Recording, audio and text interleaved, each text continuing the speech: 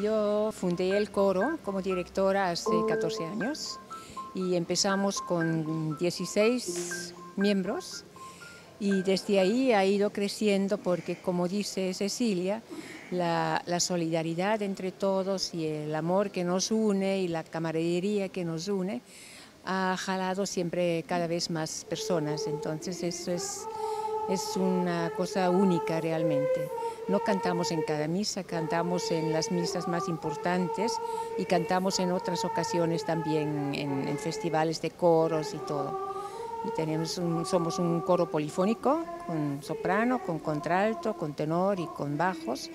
Y es realmente es una maravilla. Nos reunimos cada lunes de siete y media a nueve y lo disfrutamos todos muchos, tanto yo como ellos también.